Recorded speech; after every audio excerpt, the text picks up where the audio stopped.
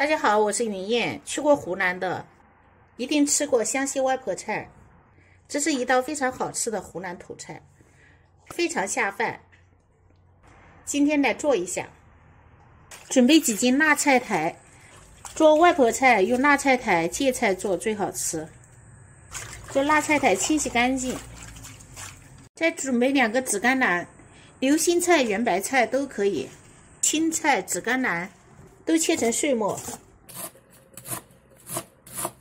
拿到阳光下去晒至八成干。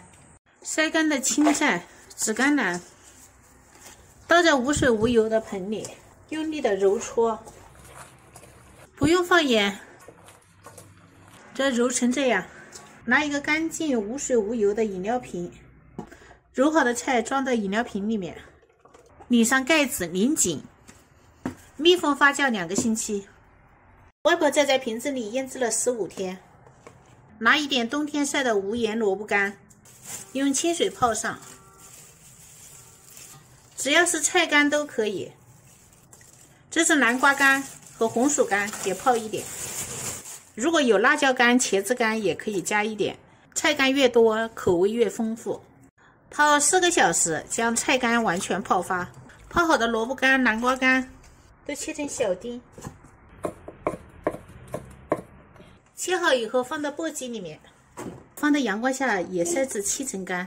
这萝卜干已经晒好了，晒成这样，完全没有水分了。把瓶子放气，小心一点。瓶子剪开，菜倒到无水无油的盆里，倒在前面腌好的紫甘蓝里面，放入五勺盐，一百克辣椒面，翻拌均匀。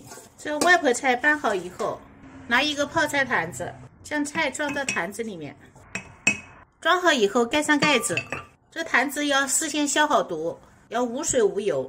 坛沿上放上清水，发酵十五天以后就可以吃了。想吃的就自己试试吧。我是云燕，下期见。